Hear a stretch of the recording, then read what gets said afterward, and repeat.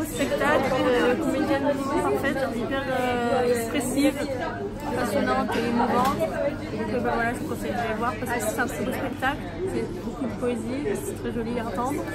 Et euh, voilà, beau message derrière. bluffant, euh, avec une, une créativité extraordinaire, des textes, une musique magnifique. C'est incroyable de voir ça.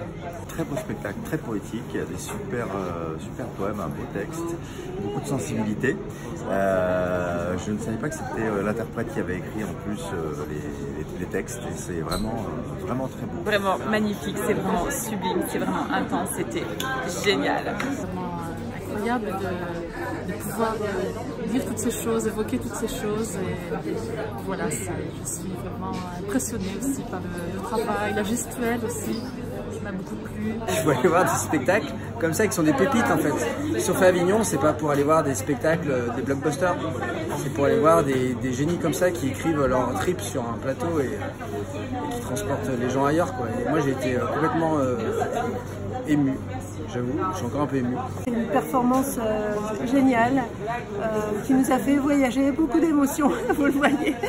Et euh, j'ai trouvé que c'est- à voir, c'est super, c'est riche, ça apporte beaucoup de choses, ça fait réfléchir, c'est génial.